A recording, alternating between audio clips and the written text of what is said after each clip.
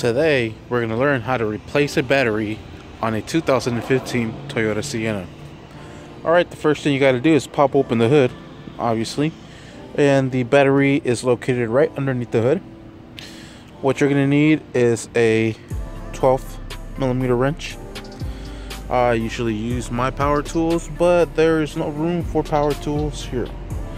Alright, so the first thing you're going to want to do is go ahead and unbolt the negative battery terminal. So we're gonna go ahead and loosen this up. Just like so. Off it goes. And let's do the positive side.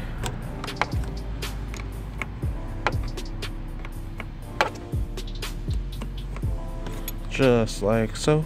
And off you go. Alright, now we got this battery clamp.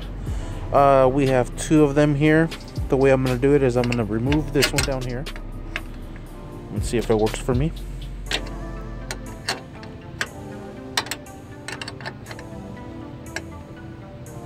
You know what, in here, I might just be able to use my power tool.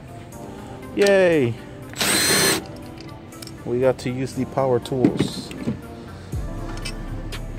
Alright, we're just to slide this over, just like so.